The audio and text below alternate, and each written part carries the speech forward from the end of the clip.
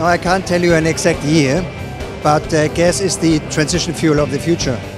So, and I think uh, Romania has a great potential because uh, I think A, the Black Sea is not fully uh, explored yet, and also the deeper horizons onshore in Romania are not fully explored. So I really welcome now the 11th round that um, the regulator has put in to attract investment into exploration and therefore then in the future of uh, gas exploration gas production in Romania.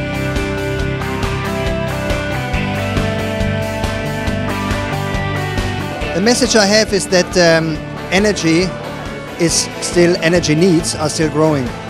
And we should not look only at oil and gas as, um, I think, um, as, a, um, as a problem, as we hear it very often, but oil and gas, energy, is a means to the solution. Technology can play a solution. We have not even started to grasp also the possibility of carbon capture and storage. And gas has many other uses. So you, from methanol to fertilizers to heating. So I think um, uh, gas has the uh, potential to uh, expand the industry, but also to secure uh, the energy security of Romania in the future.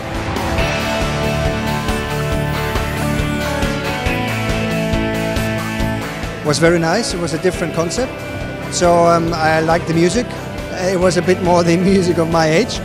And I really liked that we had so many young students that we're going into the topic of gas and we're enthusiastic and, uh, and moved by the topic. I really, a highlight today, I have to say, because I was uh, serving my time in the German army as well, was the Invictus. I mean, this is really all respect to these guys. They're a beacon for all injured soldiers and all injured servicemen, and I really applaud them.